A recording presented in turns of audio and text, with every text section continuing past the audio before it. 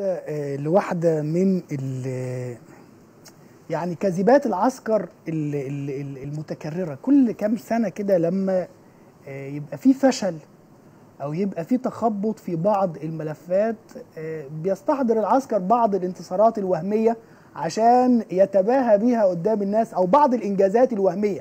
يعني عبد الفتاح السيسي القاصي والداني شايف الفشل اللي عمله في كل الملفات الاقتصادية وملف التعليم وملف الصحة وملف المواصلات. وأخيرا طبعا آه، ملف سد النهضة والتنازل عن آه، غاز المتوسط والتنازل عن تيران وصنافير وملف الحريات. كل دي آه، ملفات فشل فيها عبد الفتاح السيسي عشان آه، يظهر قدام نفسه وقدام بعض البهاليل بتوعه إنه بينجح عامل آه، آه، آه، شماعة اسمها الإرهاب وحرب وهمية كبيرة جدا وعمال بينتصر فيها. المصيبة إنه بقاله النهارده ست أو سبع سنوات عمال بيحقق انتصارات وهمية على صفحات مواقع التواصل الاجتماعي وعلى لسان المتحدث باسم القوات المسلحة وفي البيانات الرسمية وفي البرامج وفي منشطات الصحف. مش عارف دمرنا قد إيه ومش عارف قتلنا قد إيه. من كام يوم لسه المتحدث باسم السيسي بيقول آه، دمرنا 10000 عربية فيها 40000 آه، آه، آه، إرهابي. لكن على الأرض على الأرض كل يوم آه، بنزف شهيد وكل يوم بيسقط شهيد من الجيش المصري في سيناء وعلى الحدود وفي كل حتة في مصر بسبب الإرهاب اللي النهارده عبد الفتاح السيسي حتى النهارده بعد 30 شهر.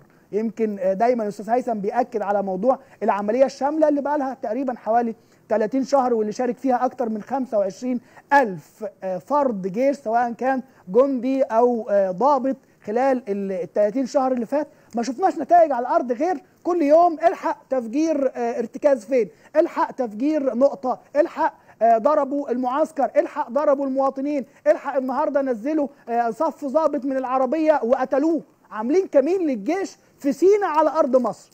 تخيل الإرهابيين أو ال- ال- ال- اللي بيحاربهم الجيش بقاله ست سنين عاملين كمين للجيش في سينا على الطريق وبينزلوا الضابط وبيقتلوه.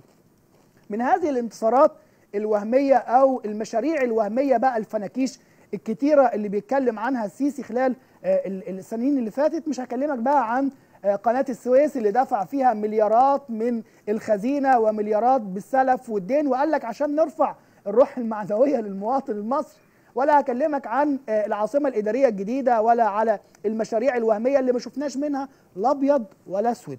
مشروع اسمه مشروع محطة الضبعة النووية. محطة الضبعة النووية ده مشروع قديم جدا آه، من أيام السادات. آه، السادات لما كان يحب كده يطلع يتفشخر يلاقي نفسه عامل فشل وما عندوش حاجة يتكلم عليها يطلع يكلمنا عن محطة الضبعة النووية واللي هتخش الخدمة خلال كام سنة وهتنقل مصر مش عارف منين لفين.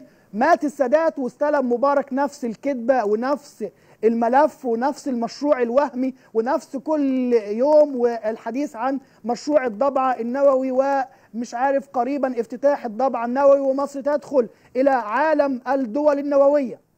مشي مبارك وجه عبد الفتاح السيسي وبنفس النغمة. سنين عشرات السنين لحد النهارده. لا شفنا محطة الضبعة النووية ولا شفنا مصر دخلت آه، آه، حيز الدول آه، النووية ولا شفنا مفاعل نووي ولا شفنا بطيخ ولا شفنا بتنجان من غير ضحك على الدقون. النهارده آه، رئيس المحطات النووية. الاسم أيضا يعني آه، يثير السخرية. إيه رئيس المحطات النووية دي؟ أنت عندك حتة محطة آه، وحيدة يتيمة اسمها محطة الضبعه النووية. بقالها سنين مجرد سور سور في أرض صحراء ما فيهوش حد بيوحد ربنا.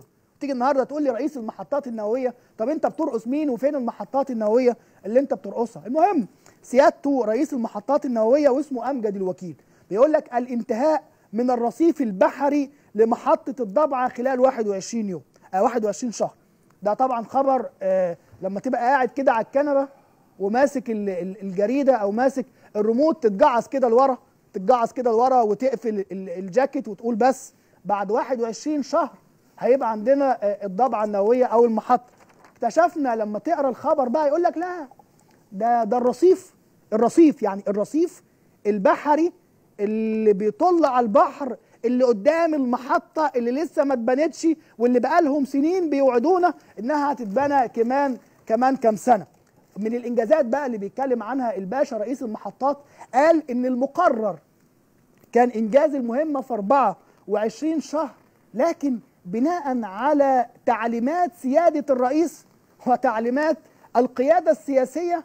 هنبني ال- الرصيف في 21 شهر واكتب يا ابني عندك وامضي يا ابني عندك وسجل يا ابني عندك إنجاز وحطها ضمن الإنجازات اللي عمالين بن بنعدها كل يوم والورق ورقنا والدفاتر دفاترنا ومحدش بيدور ورانا. أنا بسأل أهلنا في الضبعه وأنا أصلا من الضبعه يعني ولاد عمي هناك وعيلتي هناك.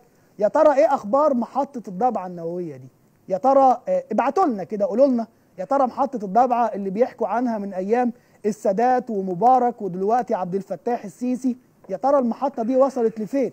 يا ترى قدامها قد إيه وتشتغل؟ يا ترى زي ما بنشوفها في الصور مجرد صور وممنوع الاقتراب والتصوير ولما تخش جوه هتلاقي شوية رمل وشوية مباني مهدودة. أعتقد المباني اللي اتبنت أيام مبارك اتهدت بفعل الهواء طبعاً. وبفعل التعرية طبعا ويجي السيسي النهارده بيقول لك آه بعد 21 شهر هيبقى